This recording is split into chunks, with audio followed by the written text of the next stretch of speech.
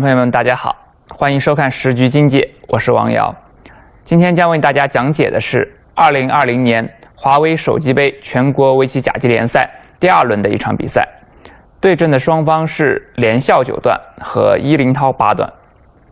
那么联校九段这个玉面骑士啊，这个大家都很熟悉，也有很多的这种小迷妹们都很喜欢啊，因为这个。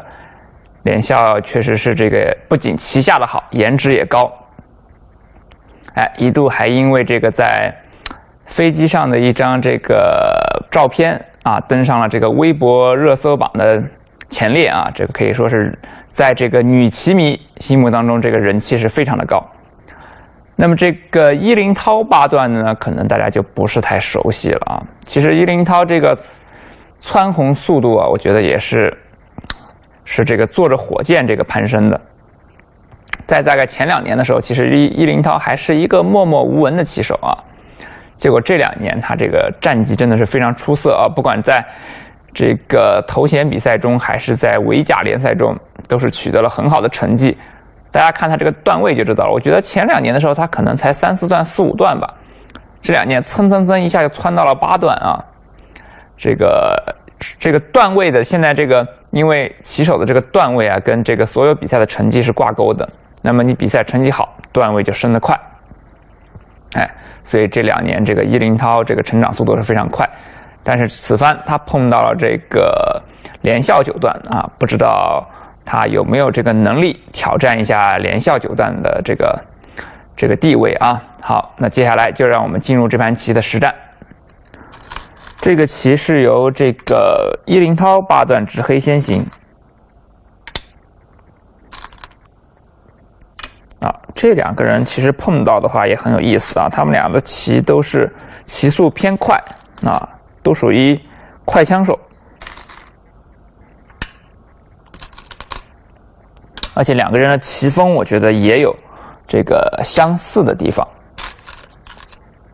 那那都是大开大合的啊，这个连校就不说了，大家都很熟悉啊。这个他的网上 ID“ 大刀向前冲”已经是早就吸粉无数了啊。那么其实伊林涛的棋也是这样一个风格，力量非常大。好，我们看这个棋，黑的现在是选择了这个大飞啊，这个哎。我们可能现在更多的见到是这个超大飞，这个超大飞比较流行一点。但其实，这个棋不管是超大飞也好，还是大飞也好，还是拆二也好，啊，都是没有关系的啊。这里唯一要注意的是，这个以前我们人类棋手非常喜欢下的这个拆三，现在已经是不太流行了啊，因为这个拆三将来被白棋打入非常讨厌啊，这个留下一个打入。的一个缺陷啊，所以这个 AI 是非常的不推荐这个拆三啊。那么我们现在大家也大家也很少会下了，一般都是这个高拆三啊。高拆三的好处就在于，你如果低位打入，那么黑棋就靠压住啊；如果你高位打入，哎，我就三路拖过啊。其实简单的说，这个高拆三的特点就是让黑棋这两个子啊一直保持着联络，不被分开啊。这个是它。最大的一个特点。好，我们接着来看这个实战。实战它是大飞的啊，然后就是再熟悉不过的点三三了啊，点三三套餐。哎，最近几盘棋我发现看的这个棋啊，哎，不是长就是飞的啊。其实点三三这个。关于这个被点这一方，其实还有一种很常见的应法，那就是搬了连扳，啊，连扳。我们看一下啊，这个就是一个弃掉一颗子，然后把角吃下的一个手段啊。这个其实这个搬了连扳的下法也是在这个，其实在我小时候学棋的时候就已经学过了啊，只是不知道这个下法啊也是。这个应对点三三最好的下法之一，但这个下法要注意的就是，被白棋拔的这个子啊，一般情况下，我们不太希望说是这个白棋拔的这个对和和他自己的角是在一个方向啊，这样的话，将来这个贴起来，白棋在这个上上头很容易就是出现一片形势啊，所以一一般来说，我们这个方向的时候，很少会选择这个连扳啊，一般都是从这边挡的时候。来，我们看一下，一般都是从这边挡的时候啊，然后选择连扳。哎，这样这样下的人会多一些。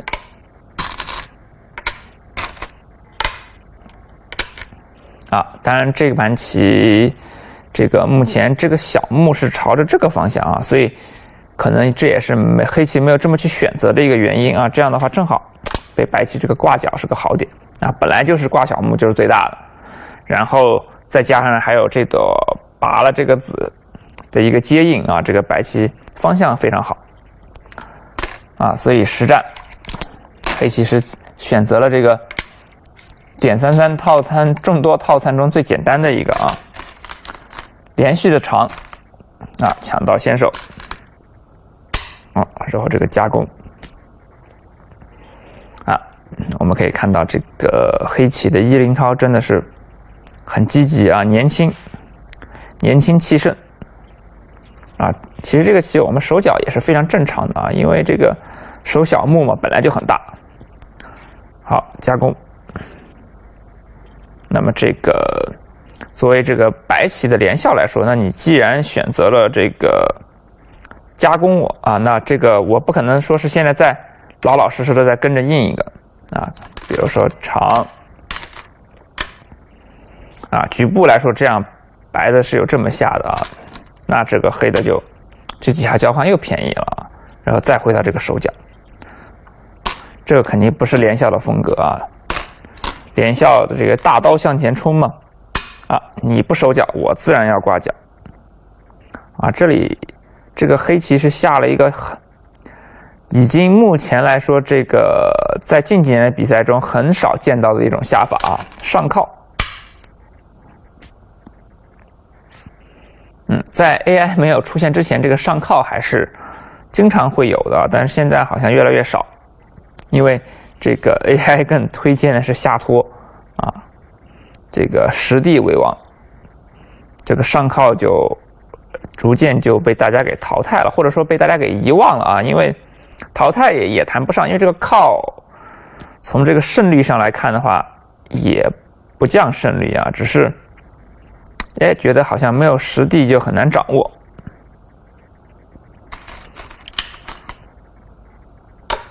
好，这个拖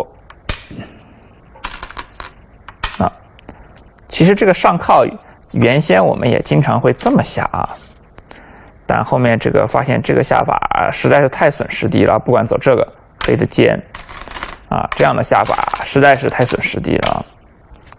这个因为现在大家这个有了 AI 之后，发现这个没有实地真的是很难掌握啊。这 AI 教会了我们，就是攻击是非常难的啊，因为一一块棋想要死是非常不容易的。那么这个时候实地就显得非常重要。所以现在这个大家看这个顶尖高手下棋都非常注重实地啊。好，实战它是拖。哇，这个下法真的是太复古了！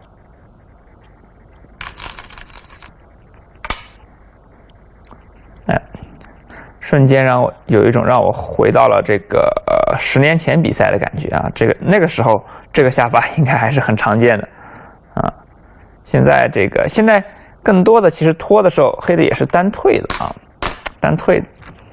这个顶了长的下法真的是很少很少了啊。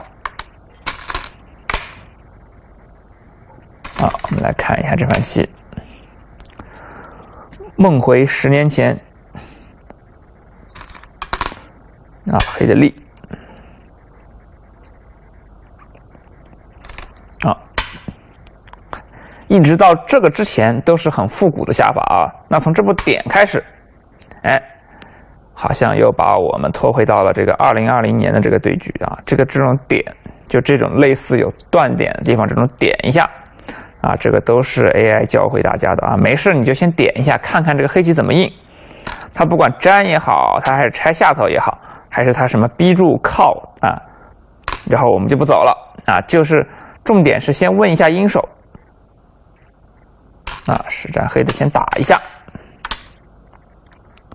啊，粘回去了。哇，这个叶林涛这个脾气真好啊，点就粘上，这感觉第一感总是在这里啊，我觉得啊，当然这个是一个。仁者见仁，智者见智的问题啊！每个人临场都有他自己一个判断，因为这个棋具体现在印在哪里好，谁也说不清，因为我们不知道将来这个战斗会发生什么啊！这个点其实这个意图就是要问问黑棋，你到底是要连后呢，还是要实地啊？我先在这个战斗还没发生的情况下，我先问问你怎么办。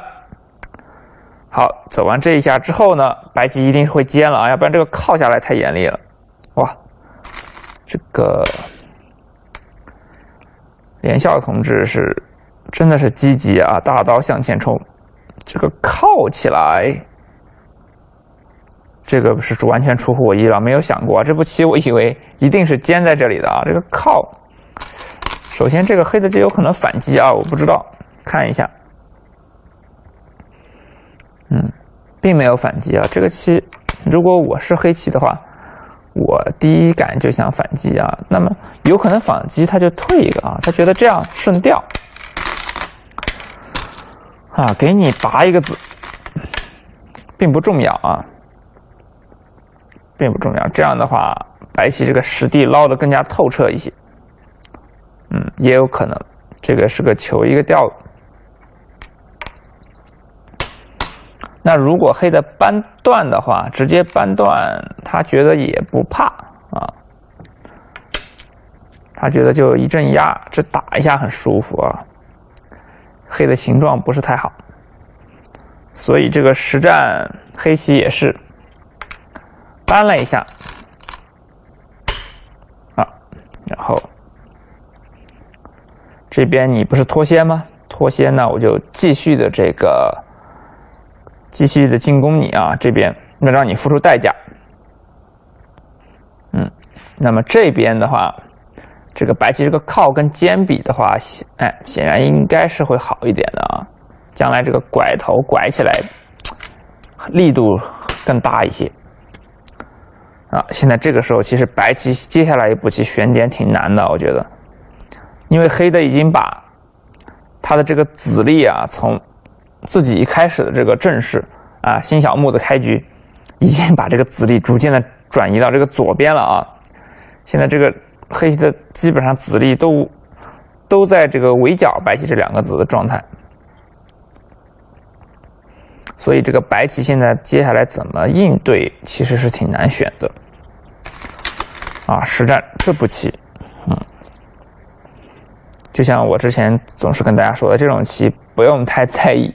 这个，呃，你是个去计算它啊，千万不要以为这个看到高手下这，哎，说他已经是算清了这个地方的变化，不可能，这个地方变化太多了啊，谁来也算不清，只是一种感觉啊，只是一种感觉，你走在这里也好，走在这里，走在这里啊，这个点，当然还有白的还有一种下法，就是稳健的。稳健的回去啊，但这样的话就被黑的又先手便宜了一下。那么黑的走完这个，黑的肯定是要，哎，围一个空了啊，这个地方。实战这个是直接在这个地方。哇，这个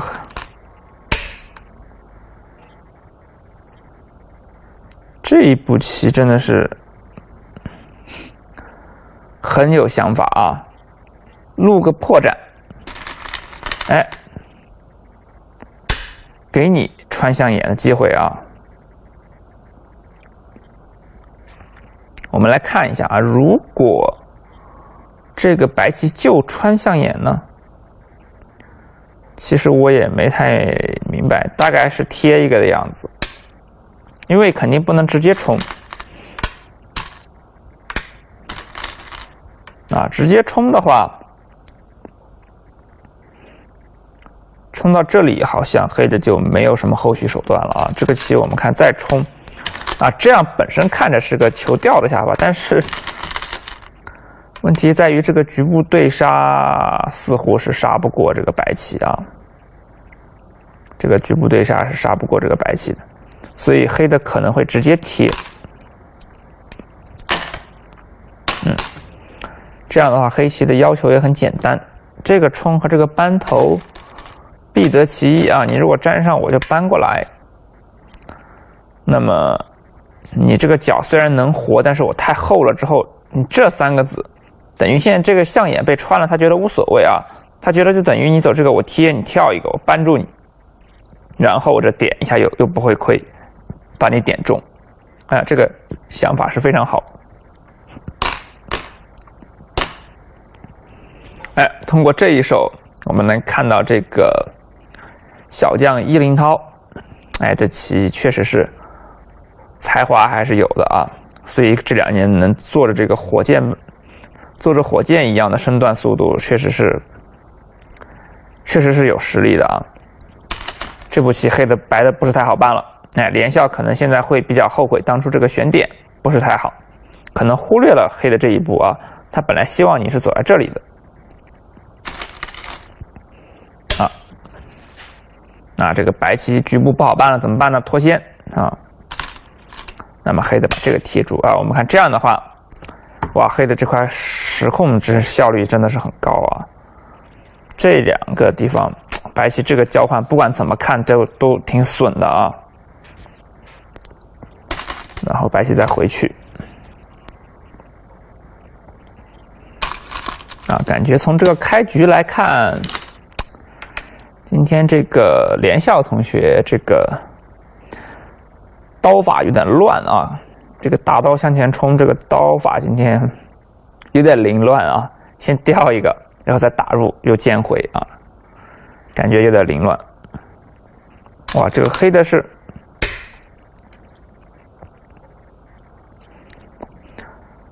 得寸进尺啊，白的已经说是哎，我退一步，我做活吧啊！结果黑的不放过他，继续这个试探你。你要是走这个的话，那将来这块棋一挤一爬回来是局部是不活的啊。那如果你要走这个，那这个子被先手断下了，我觉得就目前来说，这个白棋是无法容忍的啊。哎，所以这个拖也是啊，果然白棋是糊里头啊。这个这个时候无论如何，这个子不能被先手割断啊。那么黑的就。留下了一点伏笔啊，将来这个有可能会搜刮或者攻击这个白棋啊，先飞正，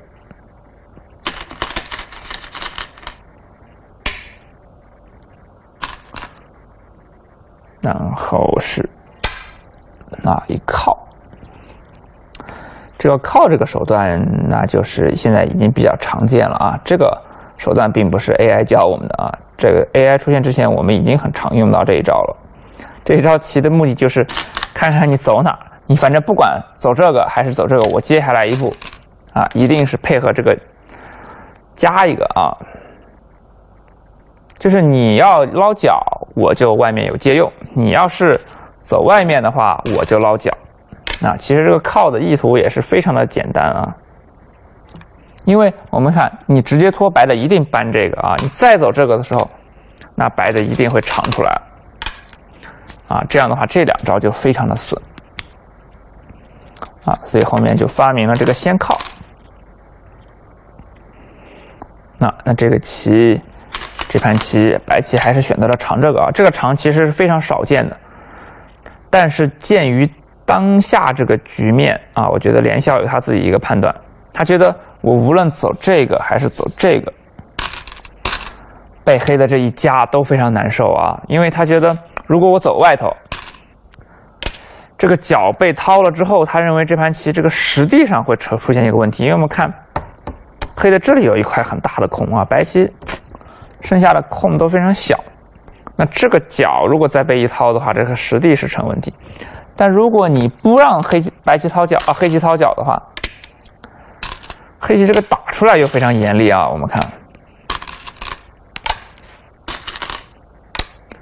那这个再把你封进去，首先你的这个做活就会成一个问题啊。做活完之后，我们刚才说这个角还没活，然后即使这个角都活了之后，我们看黑的外头这个潜力也是不得了的啊。所以综合了这几方面的这种考量啊，我觉得这个连笑下肢不长之前，他一定把这几个图都分析过了啊。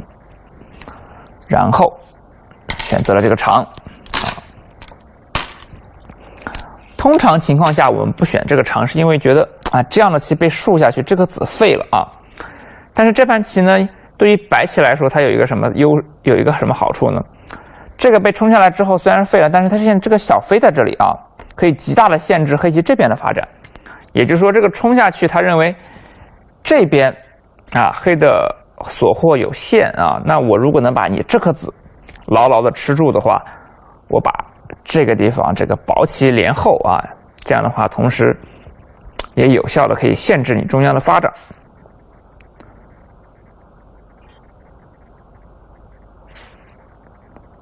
哇，结果这个黑的是不冲啊，看来这个高手所见都是一样的啊，高手所见略同。因为冲的话，白棋就加。那这颗子如果没了的话，就是显然这个局面下，这颗黑子的重要性要超过这颗白子啊。他们两个判断都是一样的。黑棋又从这里贴出来了。啊，那这样的话，我们看，白棋再搬了粘上，那这个形状比直接搬这个被刚才黑棋加了打出来，那可是好多了啊。嗯，下到这里，这个我就表示这个哎，连笑，哎，这步长真的是很果断啊，有高手的风范。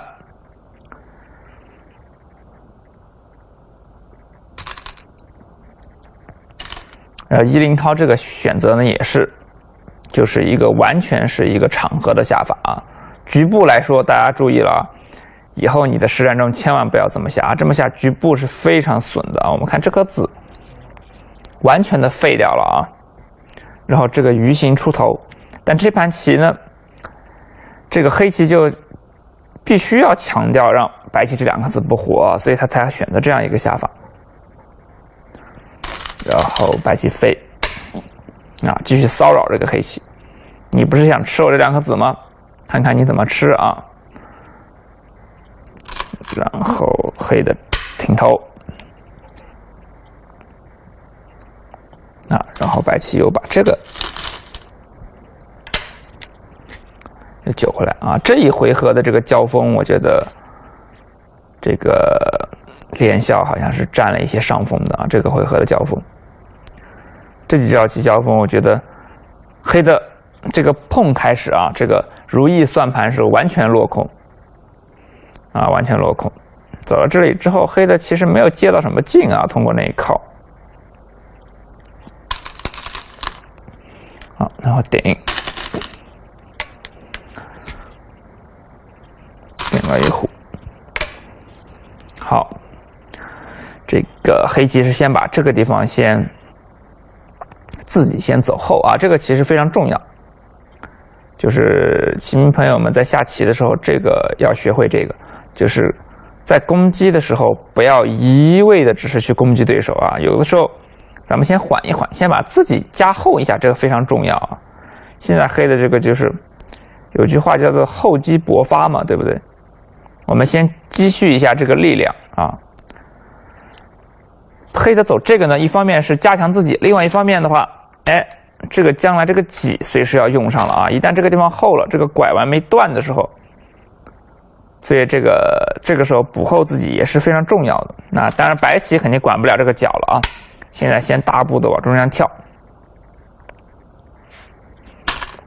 那黑的也跳，四，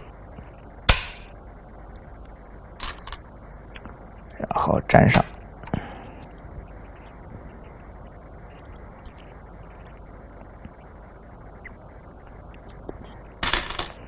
哇，这个。连笑同学这个凶狠的一面开始展现了啊！在这个做活逃跑之前，我先把便宜占足啊，上头点一下，这里又跳一下，把脚彻底捞掉。那这个黑的是没有办法了，这个绝对不能让你度过啊！啊，但是这么下就是有一个问题，就是这块棋现在真的是就一个眼都没有了啊！本来将来如果你不走不跳这个的话，本来将来这个一尖一立，白棋这地方是可以做个眼啊！现在这个跳是。彻底断了自己做活的后路啊！就是说，我现在就不停的往外跑就行了。啊，黑的跟着跳，现在就形成一个对跑的一个状态。但是白棋稍稍的有一点薄，这个中央啊，他可能一会儿得自己先补一个。哇，啊，把这个拐起来。这个早年这个靠长留下的一个后续手段啊，这个拐头很有力。那么下到这里，我觉得这个棋啊，真的是进入白热化了啊！上来，哎，这个年轻的伊林涛这个相步非常的精彩啊！但在接下来这个几个回合的战斗中，这个连下这个长又给我们展现了他这个良好的大局观啊，全局感非常下的非常好。那下到这里，这个棋应该说是一场势均力敌的战斗啊！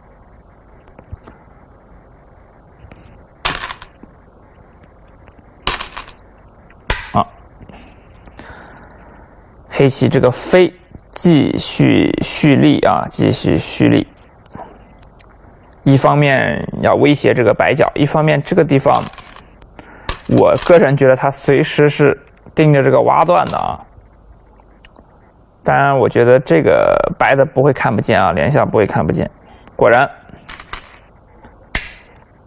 棋风难处小飞飞，哈。这个这个断补的也是真的是怎么说呢？哎呀，这个补断补在这里也真的非常有想法啊，就是让你看着就是没有完全补干净的那种感觉，但是它其实是补上了的啊。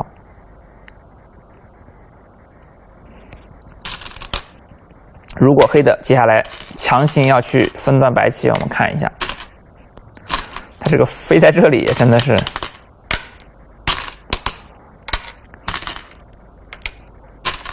很积极啊！正好这个飞，我们看把这个这两子给飞死了啊！我们再看一下，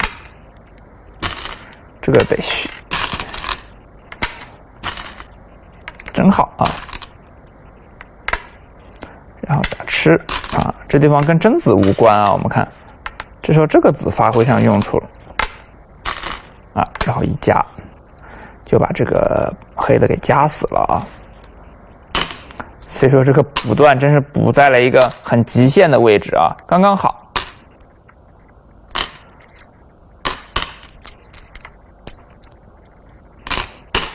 但是这步棋，说实话，我个人不认为它很好啊。我觉得宁肯老老实实的要我下，我肯定下这儿啊。因为我觉得这步棋或多或少会有点隐患吧。将来就算人家走在这里。你也非常难受，而且这个地方这还有好多实地呢。我觉得这步棋的位置值得商榷。反正啊，现在黑的一退，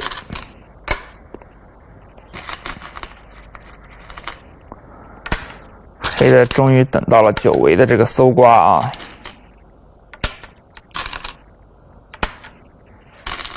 为了这一天，这个黑棋已经是。等待了，做了很多的准备工作啊！这个顶了虎，又飞了一个啊！哎，将来很愉快。这个一挤的时候，我们看白棋粘不住了啊，只能粘回去做活。啊，这个地方黑的是这个局部黑的真的是很很得意啊，可以说很得意。哇，然后然后这步棋就来了啊！嗯，看来这个我的这个感觉也还是可以的啊。我的觉得就是，反正我是不喜欢这个连下这步棋啊，补的这个位置太感觉很奇怪啊。因为我觉得形状总是在这里的嘛。这一方面这补的很厚实，另外一方面跟这颗子还有点接应啊，因为我们这颗子不管怎么说，它还放在棋盘上，我们肯定希望能够利用它啊。下棋就是这样的，你要想办法，就是让你放在棋盘上的每一颗子都利用上啊。如果你每颗子都能利用上，这盘棋呢，你一定赢，没什么可说的啊。所以，所以这个位置我当时是觉得是绝好的，走这个被黑的一走这个，黑的这里明显不是有很多木吗？啊，这个棋，这个形状没拿捏好，哇，然后再走这个，这个玩的就是心跳啊。这个白棋这个形状真的是不怎么样啊！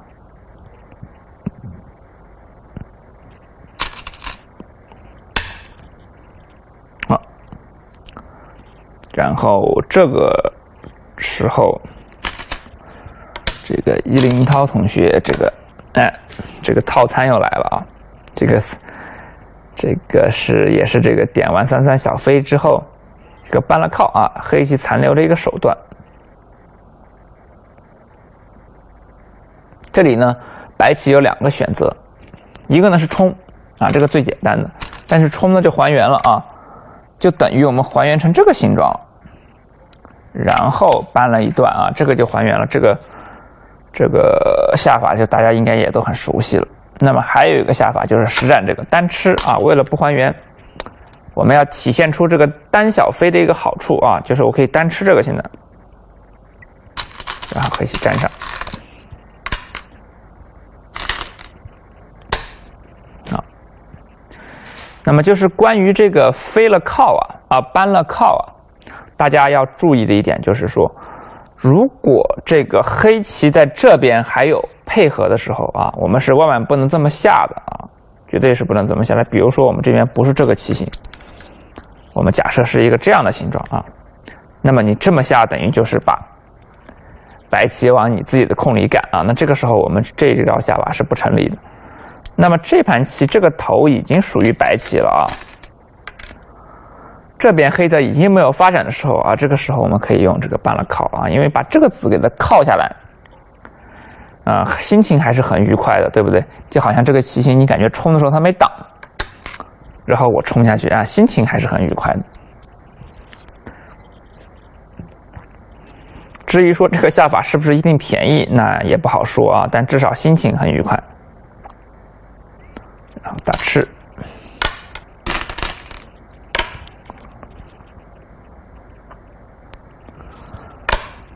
哇，这个是这个下法也是接下来的一个常规手段啊，但是他马上就来啊，好，嗯，便宜到了，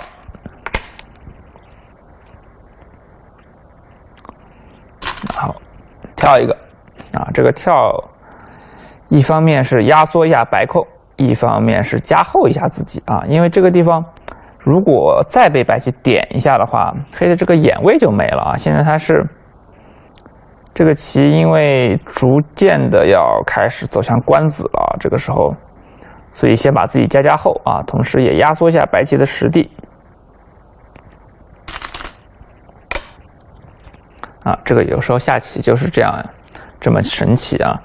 两位这种力量型、勇猛型的这个棋手，但是偏偏都是双方都找不到不给对手发力的这种机会啊，最后就是很有可能形成一盘拼官子的一个棋啊。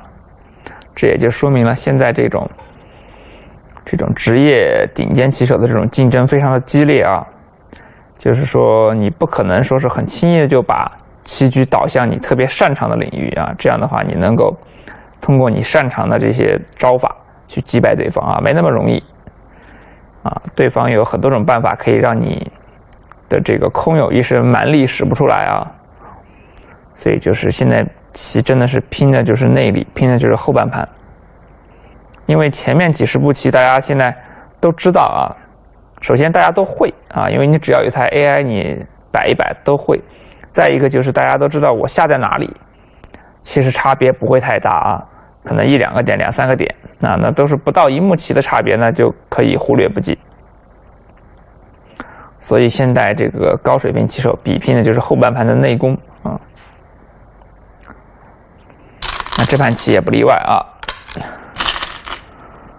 即将开始这个拼内力了，哇！黑的跳完直接把这个打拔了，啊，这个棋确实本身价值也也是非常大的啊。我们看这个棋，将来还有搬了爬，啊，这个地方加是加不进去的啊，搬了爬。一二三四五六七八九十，本身有后手大概将近十目棋的价值，啊，最关键的就是拔完这个之后呢，黑棋这块棋可以说是就宣布就活棋了啊，因为这个地方我们一拖，显然就能活啊。那如果白棋破这个眼，我们这里一冲，啊，基本上这里也是有个眼的，啊，白棋虽然可以有这种很顽强的。杀法啊！但是首先这个木先损一把，这打了一粒，这脚上啊就已经出事儿了啊！就是这个局部来说，就是想破这个眼非常困难，所以这块黑棋就宣布已经做活了。那那这个时候就是黑的等于是走了一个捞了一手木啊！但这其实现在这块这招棋也非常大，我觉得啊，这个小尖起来其实也非常大。啊，白棋实际上是往里跳，黑的是一靠，啊，这颗黑子是绝对不能给白棋吃掉的啊，因为黑的只要连回来这颗黑子，这个地方白棋有很多的缺陷啊。如果你现在去贪围这个空，啊，那这个白黑子被白棋吃掉，那是了不得的。所以一定要靠回来，威胁一下白棋。嗯，白棋飞。哇，这个伊林涛这个还不肯还不满足于这个尖回来啊，藏在这里，要这个最高效率的这个围控。啊，他觉得你现在反正不敢进去，我有这个长，你走进来我直接给你弄断啊，你给我送菜。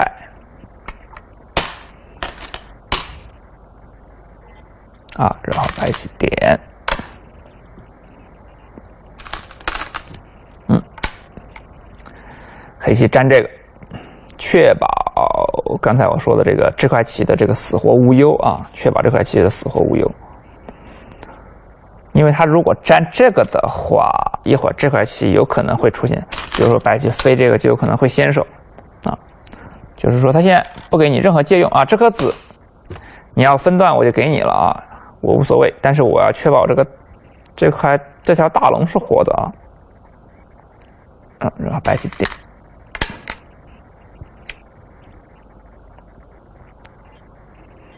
啊，逐渐这个棋，由于黑棋不停的在捞地啊，那这个攻手稍稍的有点逆转。我们看这个棋现在，啊，攻手稍稍有一点逆转。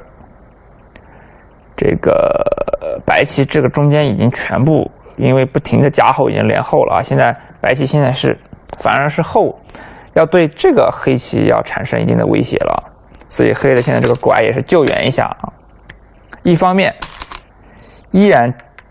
瞄着这个白棋的这个弱点啊，这地方有一靠，我们看，啊，这个拐之后产生了这一靠，它一方面瞄着白棋的弱点呢，就是让白棋不敢进来啊，这个小尖也不敢尖。哦，刚说完我又被打脸了，就小尖。哦，那这个靠是什么情况呢？我们看看黑的有没有靠，啊，黑的忍住了啊。可能暂时不太敢靠啊，我们看一下靠它如果冲断长，可能黑的也没有把握，这里可能会形成一个对杀，然后一断，然后这个飞呀，然后再尖或者跳下来。啊，有可能会形成这样一个对杀，然后也有可能白棋根本就不用冲这个啊，白棋就可能单搬就好，这个冲就粘上啊。这里因为有了这个小尖的这个子，这个地方不太好分段这个白棋啊。你点的话，我刚好有一靠啊，这个地方分段白棋没那么容易。啊，所以这个黑的也是就先忍住啊。哇，那这个尖一把，这个目数还价值还是相当可观的。我们看以后再尖一把，又是先手，跟黑的这个飞比，一二三四五六七八九十十一，哇，这个逆收十一二目啊，这个有点吓人的啊，这个有点大，但是黑的。他又不肯走这个，走这个他觉得那块棋有可能会被攻得很惨啊，可能就不是十一二目的问题了，所以是忍痛放弃了这个目数啊，忍痛放弃了这个目数。好，我们来看一下现在这个棋，这个目双方这个目的一个情况啊，走到这里。因为这个下棋随随时还是要点一下目的，如果你不点目的话，闷着头在那里下，你就不知道这个形势怎么样啊。我们看一下这，但这盘棋的目不是特别的好点，现在因为不定型的地方有点多。我们先看看白棋，这个角是六目啊，一挤一粘六目，那个角是四目、十目啊，这个地方比较好点。这以后一跳八九十，这也是十目，二十。二十这一块的话，这个以后搬下是黑棋的权利啊，打有可能是白棋的权利，因为黑的要做活嘛。这个大概是十二十啊一二三四二十五目的样子，那白棋全盘是四十五目啊，四十五目只多不少，因为白棋这个地方冲过来呀，这地方并啊还会找目啊，只多不少四十五。黑棋的话，这里尖是白棋的权利啊，十十一十八。是二十二一二二三四五六七二十八，到这二十八，二十九，二十九这里挤，白的只能粘回去。这里折半算有个三四目，三十二三，三十二三三三四三五三六三七三八，这块棋大概粗粗一点是四十目棋的样子啊，四十目，四一四二，黑的甚至四十五目都不一定到。啊，这个棋呢，现在形势白棋还是比较有利的，比较有利的。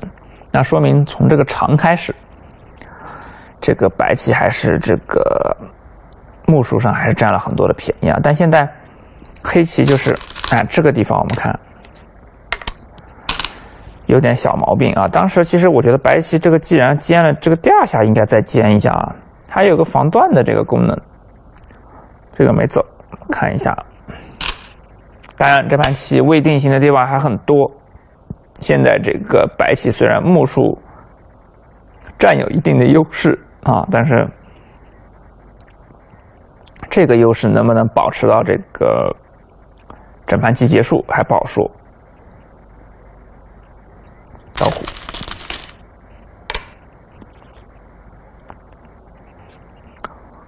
这个。盗虎是想威胁一下这个黑棋是吧？啊，但是这个盗虎说实话没太看懂这步棋的含义啊。是想威胁黑棋，但是你局部来说是威胁不到的，因为黑的这个己是先手，这个猴还是活棋啊。实战这个尖刺了一下，尖刺了一下，那这个黑的就已经先手活了，这个再可以再扳一把。黑的还是力了啊，他觉得这个力太大，还是力。好，然后再飞这个，那这个飞也是非常大的，因为你不走这个，黑的这个二路直接点到这里来了啊，这个就不得了，这个甚至要威胁到这个角的死活了啊，所以这个这步棋是必须要走的。所以说我在想，刚才这个黑的是不是有可能抢这个？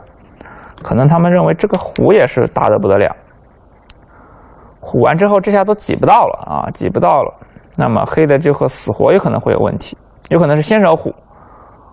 啊，所以觉得这步这两步棋哪步大真的是判断不清了啊，都非常大，因为这个立的话，说实话立完之后这颗子还能度过啊，有点感觉没立到东西。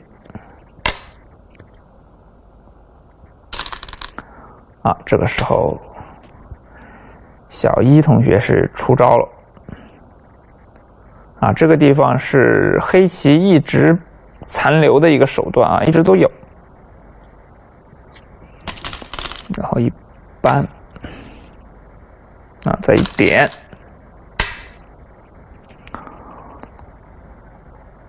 再一点，这个手段还是能吃到一些目数的啊。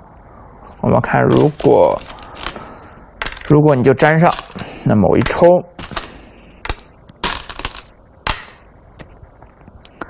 一退，哇，这个还是能吃很多目下来啊，这个棋。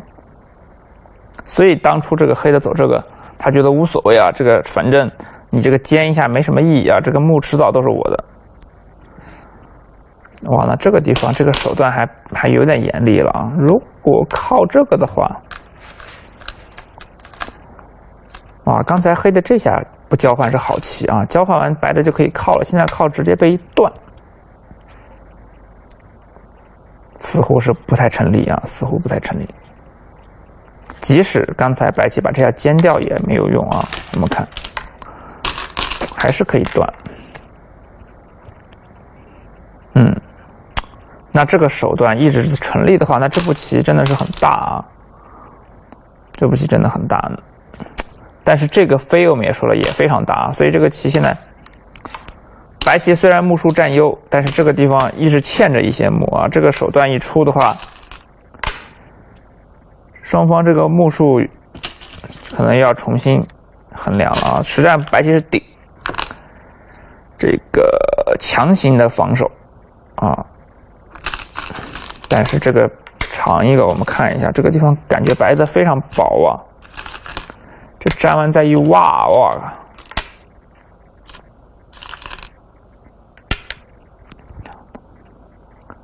瞬间这个白棋有种。丢盔弃甲的感觉啊，有一种要烂这个地方。我们看一下，如果它粘上，我们来看一下这个实地是不是不够了啊？他他实战这个下法，我觉得也是啊。这不过这个真的是很惨啊，这个黑的黑的是一个先手吃啊，这个接下来这个段还特别大，你还得走。如果吃成这样，我们看看是一个什么状况啊？这个这块空刚刚才点了四十目，我们现在看看这增加了多少目，这有点吓人。六十五、二十二一、三十三三六、四六四七八四九五十、五十一、五二五三五四五五六五六，这折半五七五八，这一下加了快二十目啊，五十八了。五九六十六一，六一六二六三啊，黑的有六十三四目现在。哎，但是白棋也加了不少啊，白棋刚才四十五，四十五的话，这个只点了十目，现在四六四七四八，四九五十五一五二五三五四五五六，五五六啊，这边差不多五十六六十五该黑几下啊，确实这样的话。这么看的话，黑的实控好像要占一点优势啊，因为这个地方黑的还可以点进去。我们看这个黑的这个一路力是硬腿先手啊，这个地方我们还可以点进去啊。所以白棋的目，但是我觉得这样说实话也挺细的啊。这个啊，但是。可能一一时间这个情绪接受不了啊，一下被黑的多出来快二十目棋啊，下棋的时候可能有点接受不了，但实际上这个顶，我个人觉得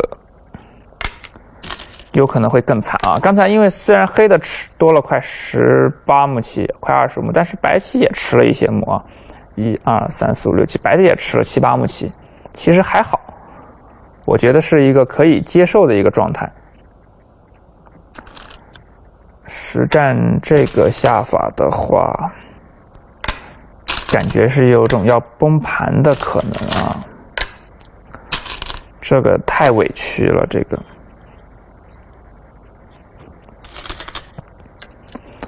那当初这个黑的这个拐的这个位置真是恰到好处。现在这个白棋是各种逃跑啊，但是感觉还是薄的不得了。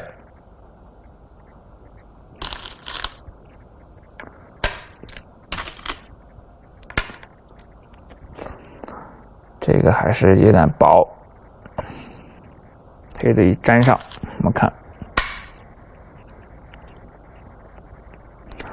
对，这个还是很薄，而且这个棋将来啊，黑棋这个夹住的话，这边也能长一点木啊。虽然这个这边这十多木没了，啊，这边确实木差的也挺多的，一二三四五六七八九十十一十二十三十五十六二十，二十目棋，这边救回来二十目棋白棋。但是中间的这个八目棋没了，其实只救回来十二目，然后黑的这边现在还有点目，其实这个真的不便宜啊。这个不知道当时他们双方的这个时间状况啊，可能连下时间也不多了，因为伊林涛下棋真的是非常快啊，这个比一般人都要快更快一些。这个年轻人这个棋感好啊，而且是。自信心爆棚嘛？伊林涛属于那种下棋的时候自信心很爆棚的棋手，嗯，觉得自己的招都是最好的，这样的棋手也非常难对付。这个时候白的确实是这个防守起来要动动脑子了，因为你现在不能单纯的补这个段呀，补这个段这一飞过来，这块棋好像基本上就交代了啊。那你这边得补啊！你这边如果不补的话，这个一尖，那个被穿下去也受不了。所以现在这个连下是非常勉强啊，挑这个要求是一子两用啊。但是感觉这个地方这个白棋肯定是有问题的啊，这个缺陷果然。黑的这个又亮亮刀了啊，直接点进去。现在黑的感觉这地方只要有一点借用，这边就要出事情啊。黑的我们看这个跳是绝仙，跳完之后这个地方一靠啊，一冲断，稍微这边有点紫，白的这个就要有危险。所以这个点是先问一下阴手，坚住啊。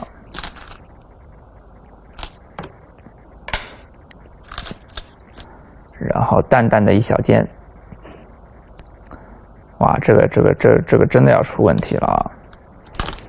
这个小尖你要不走，它这个地方要顶你，很厉害啊！这个顶，这个这一下这个目数一出路的话，但是你现在刚才说了，这边又必须得走棋啊，这一尖好像已经不太好办了，实战只能补这个啊，因为这边要死要死棋了。那这个黑的一顶，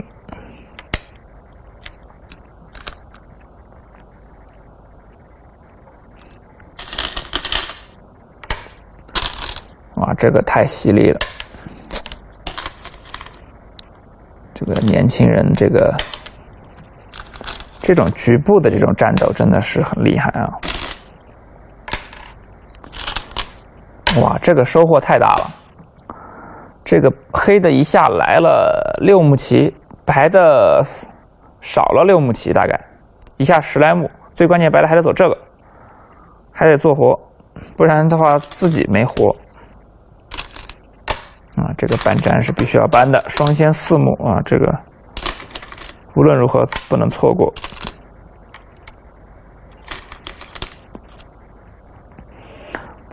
啊，然后这个现在白的这个是。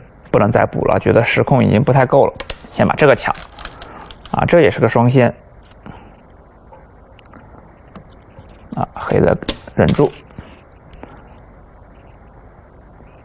啊，然后白的再抢到这一并，现在是白棋，因为这个地方损失比较惨重，所以现在拼命抢目啊，他觉得再走这个肯定是不够了，啊，你再补这个，这个再被黑的点一点什么的。可能还不止这个点的问题啊！我觉得黑的这地方，说实话，可能还有更好的下法啊。因为白的这地方依然很薄，现在我们看，黑的什么甚至靠断这种棋都有可能，所以白的只有先把这个先捞了再说。啊，黑的先手吃，这个很愉快。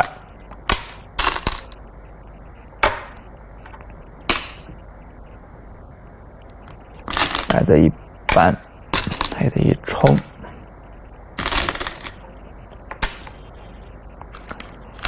力啊，这个是先手全力。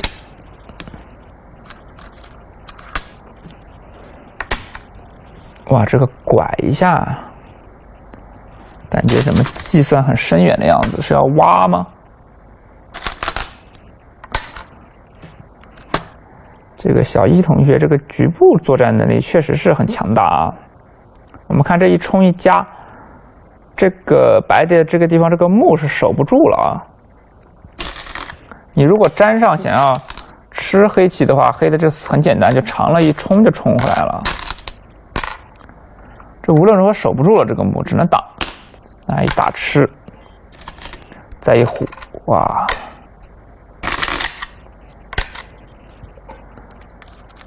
啊，直接粘上，因为我可以跳进去啊，甚至不要虎，还要这个团一把。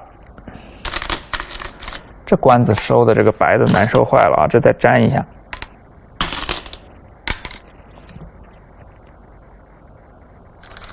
那然后再挤一把，再把这个吃下来。那我感觉这个从这一串来看，这个白棋应该是凉了。这棋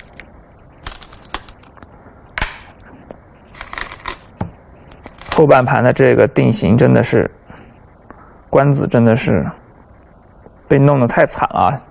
由此我们可见，这个下棋的时候。这个厚也是很重要的啊！虽然现在实地为王，但是你如果棋太薄，像这个地方被冲成这样，肯定是不对的。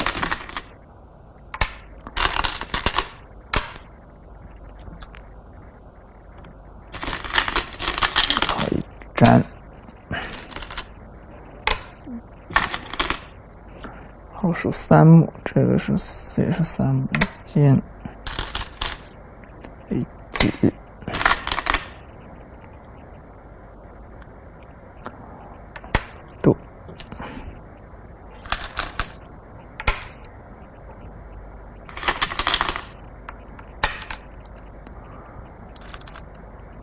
这个接下来的关子应该不会有什么变数了，是因为双方都太厚了。再一打吃，粘，起粘，白棋猴，黑的一挤。好，到这里的话，这盘棋也是最后一手啊，本本局的最后一手。那么最终这个棋是黑棋是中盘胜啊，黑中盘胜。我们看这个棋，其实双方这个布局决断，哎，一人下出一步好棋啊，其实势均力敌的。那么关键是这个白棋是哪一步出了问题呢？其实给大家之前也说过啊，这个飞啊，其实用我们这个棋手的一个行话说，这个飞很邪恶啊，看着很邪恶。这个走在这里，飞在这里，我们走一个小猴子脸，是非常正义的一招啊。其实这盘棋最终输棋，这步飞埋下了伏笔啊。自从被黑的这个点到之后，白棋这个棋形就一直有缺陷啊。到最后黑的这个亮出了这一招，靠完一点，非常犀利啊。其实当时白棋如果忍住的话，其实我觉得还能收。实战这个下法太不理智了，被黑的冲完之后。这个二路再亮出一点的时候，那这盘棋就已经没救了啊！我们看，白棋实战就救了这二十目棋，然后自己这八目没了，然后这个地方十多目没了，这个地方黑的还能成目，所以总的来说，黑的肯定是白的肯定是亏了，还还不如当初就把这二十目改这个黑棋，啊，这盘棋这个连笑这个后半盘也。体现出来，现在这个年轻棋手后半盘确实是很厉害啊。那这盘棋最终的结果呢，是这个小将伊林涛之黑中盘战胜了连笑九段，啊，下的非常好，非常精彩。那么今天的棋我也就为大家讲解到这里，谢谢大家的收看，我们下次再见。